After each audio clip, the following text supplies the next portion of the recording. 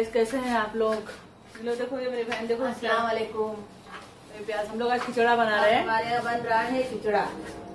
उसके लिए चढ़ा दिए अभी दाल गला रहे हैं सब हाँ? बॉम्बे का खिचड़ा। बॉम्बे का खिचड़ा बन रहा है आज। पर ऐसे पे नहीं डाल रहे हैं जैसे बना रहे बता रहे हूँ दाल गल रही है वो प्याज काट रही है।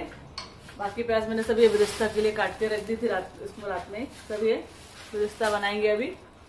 जैसे जैसे होगा आपको खिचड़ी की दाल गल गई है। अभी हम अभी है ना ये जौ है और वो चौली है। वो सब जरा भी गलाने रख रहे देखो मेरी बहन सब कर रही है अभी। इसमें डाल के। गर्म है नहीं लो चम्मच ले ले स्पून ले ले। अभी इतना करे है। इसका बहुत लंबा प्रोसीजर है इसके लिए रेसिपी डालने टाइम नहीं है अभी। तो स्पून से करके ऐसा कर लेते ना पूरा। सब अंदर ले ले। हाँ अच्छा अंदर ले तो वो हो जाएगा पूरा। तो बड़ा बड़ा बड़े कुकर में लगाए एकदम ना। पहले सब दालें गलाएँगे उसके बाद में फिर गोश्त करेंगे। इसको भी से कर लेंगे ना? देखो ये बिगर से मैंने सब दाल को मिक्स कर ली हूँ। घोटते कौन बैठेगा अभी ना? ऐसे कर लिए। बस अभी दालें गली गई। बस देना, इतना पानी ना। हम्म गिरता ना फिर। नहीं दो तीन सीटी में हो जाए, दो सीटी में का मतलब गोश्त का मसाला है पूरा इतना। निकाले है। और वो जौ और डाले थे चौली, वो भी सब गल गया है। और अभी हम लोग इसका बना रहे हैं ब्रिस्ता। ब्रिस्ता क्या है वो बन रहा है अभी इसका ये बना रहे हैं। तो आपको मैं दिखाते रहती हूँ चलो। मेरी बना रही है ब्रिस्ता बरिस्ता हो रहा है। उससे बोलना बरिस्ता हमारा रेडी हो रहा है? गैस बंद करो। इसकी आवाज़। ये देखो गाइस अभी बरसता है ना निकाल रही है मेरी बहन बना बना के। वो बना रही है सब। दिखाऊँ क्या आप लोगों को? देखो बन रहा है सब अभी। अभी सभी खिचड़े में जितना ऊपर डाल के खाएँगे उतना टेस्ट आता है।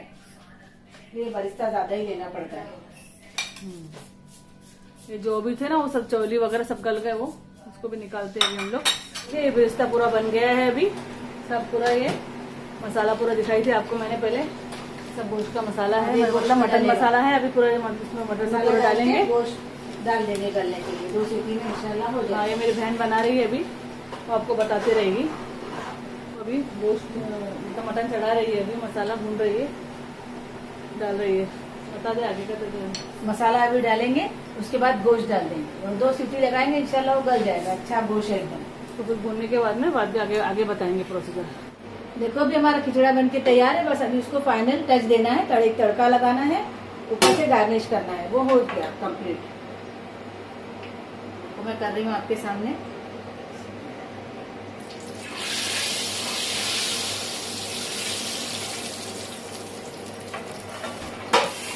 ये हो गया, अभी इसमें थोड़ा बरिस्ता चला जाएगा.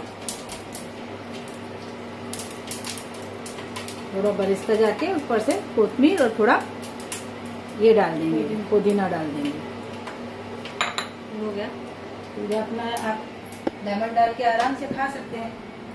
खाने के लिए रेडी है ये।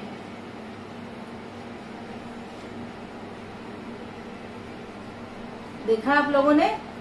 हम्म? ऐसे ही आप लोग बनाओ खाओ। हमारे चैनल को रेसिपी डालेंगे हम चैनल को। हमारे सब्सक्राइब करो शेयर करो। देखिए कैसा बन गया हमारा हलीम अभी खिचड़ा। आइए खाने के लिए आप लोग भी गाइस ठीक है? मिलते हैं। फिर दूसरे वीडियो के साथ में। अल्लाह हाफिज। अल्लाह हाफिज। दुआ में याद रखना अपना ख्याल रखिए।